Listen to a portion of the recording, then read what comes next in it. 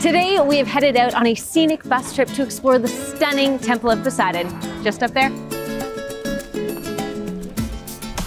We're in Cape Sounion, the end of a peninsula that is the very southernmost tip of Greece.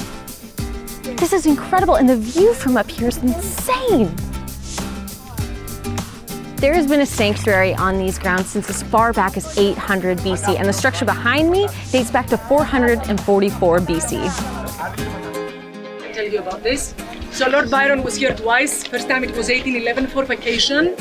He wrote somewhere that it was the happiest period in his life. This time he spent in Greece in those days. It's one thing to hear the stories, but to actually be here and experience Greek history and Greek mythology, something so special about that.